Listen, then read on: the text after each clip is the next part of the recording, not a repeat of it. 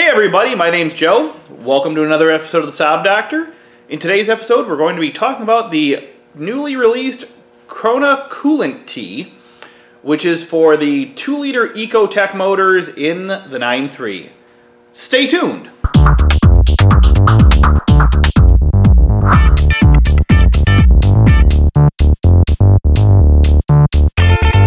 Alright, so I feel like I need a hand model for uh, this episode, first time ever. This is the Krona KP600 Coolant T.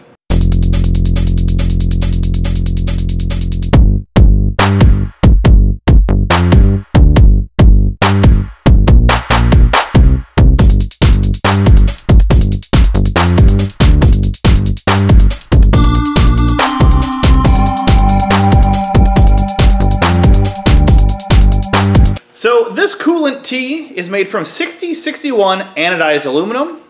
It has a serviceable O-ring in here. And, well, I mean, you theoretically shouldn't have to service it because it carries a lifetime warranty through Krona and eSaabParts, of which eSaabParts is the exclusive distributor of this. So you've got Matt backing it up.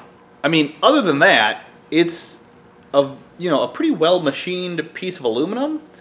Uh, but it's a pretty simple part because literally it's just um, a T and this screws right in. It's actually really, you know, really well made, nice lightweight, significantly better than the plastic ones these cars normally have. And we are actually going to replace the plastic one on my wife's 240,000 mile 2010 9-3.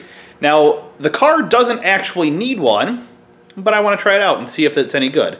So we're going to take it, we're going to put it in the car and see how it works. Also, I am chasing a coolant leak on this car, so replacing this can't hurt. Uh, I think the car probably needs a new radiator though, or if I'm really unlucky, it's the water pump, which I hope it's not, because at that point, the engine's coming out, because 240,000 miles. Anyways, let's get to installing this. Alright, now normally for this job, you're going to start off taking out the three T30 Torx at the top.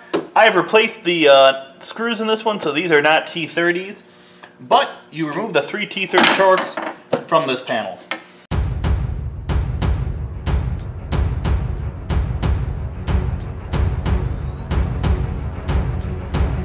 Alright, the coolant T is actually right there. It's super easy to get to. This one isn't broken or leaking at all. But you know, we're just going to do the upgrade anyways because looks like a good upgrade, simple replacement, may as well do it. And I mean, here, these are all of 39 bucks. You know, for me, that's cheap insurance to make sure that this thing doesn't spring a leak and all of a sudden spray the ECU with coolant, which would be really bad. Uh, I may actually move the ECU for this. I don't think I need to, but no, I'm not going to. What I'm going to do is I'll just kind of put something here to make sure none of the coolant runs onto it. Well, it's 4 bolts. I'm going to move it out of the way. I want to be safe, rather be safe than sorry.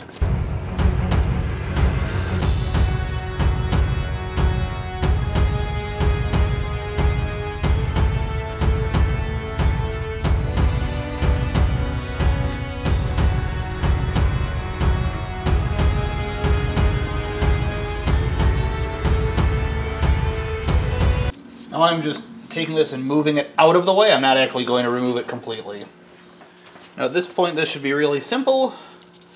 Grab an angle pliers and undo the three hose clamps. I'm going to start with this one on the T, and then do the two big ones.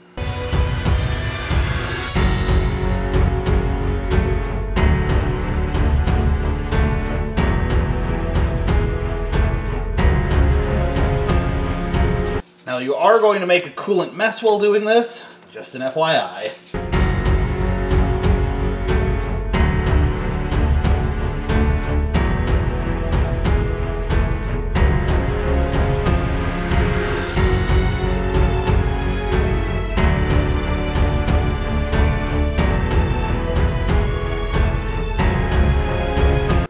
All right, and it's out.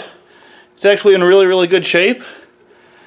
So uh, I'm going to save this one because it's never hurts to have a it never hurts to have a spare if you have one around. All right, now that that one's out, let's put the brand new Krona one in.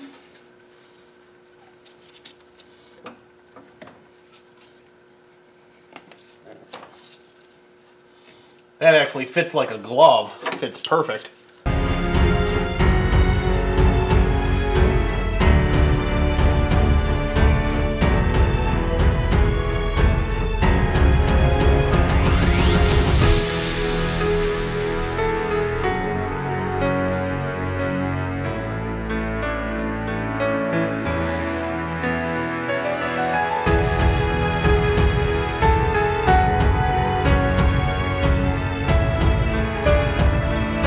Right, now one thing I always do is, if I do something like this where I get antifreeze all over the car, I make sure just like hose down the area a little bit so I just don't have that smell of burning antifreeze all the time. So I'm just gonna spray down the alternator area. Luckily the car's in storage, so it should all be dissipated by the time it's out of storage, but I'm still gonna run it a bit so we can burp the system as well.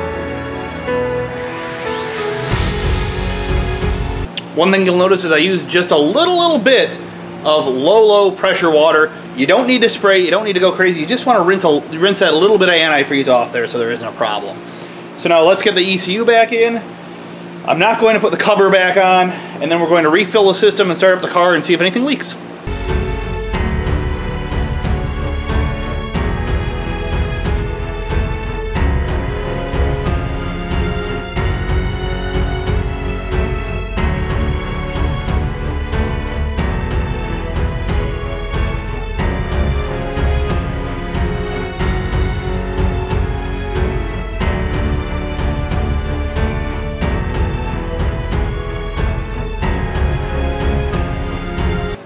Right, now that that's back in, let's top off the uh, antifreeze and start her up, see if she leaks.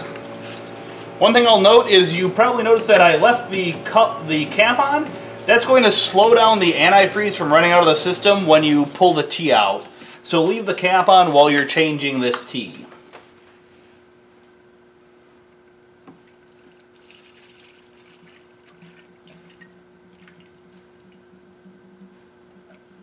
Now I'm going to note that I refill with any make, any model coolant.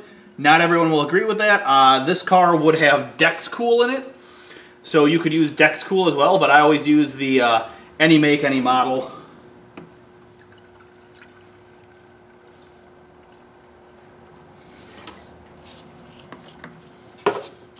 All right, now let's just keep an eye right here on the uh, coolant T to see if it leaks.